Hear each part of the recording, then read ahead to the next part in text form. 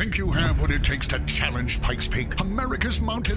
Test your skills and stamina on Saturday, August 7th and compete in the 2021 Broadmoor Pikes Peak Cycling Hill Climb.